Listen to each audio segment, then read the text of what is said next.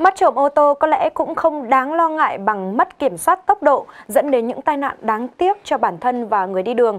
Nhằm cảnh báo những người lái xe thường phóng nhanh vượt ẩu, một số thành phố ở Anh đã nghĩ ra cách lắp những biển cảnh báo đặc biệt có in hình trẻ em.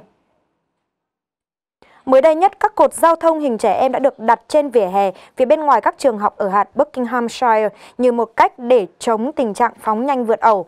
Theo các nhà quản lý, khi nhìn thấy các cột giao thông trông giống những đứa trẻ như thế này, những người lái xe sẽ tự nhận thấy cần phải giảm tốc độ khi đi qua khu vực này.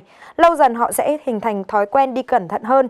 Theo ước tính của giới chức địa phương, chi phí thiết kế và lắp đặt của những cột mốc này ở vào khoảng hơn 145 triệu đồng. Ngoài ra nó còn được phun sơn dạ quang để các tài xế chú ý vào ban đêm. Nhiều thành phố khác ở nước Anh cũng đang áp dụng cách thức này.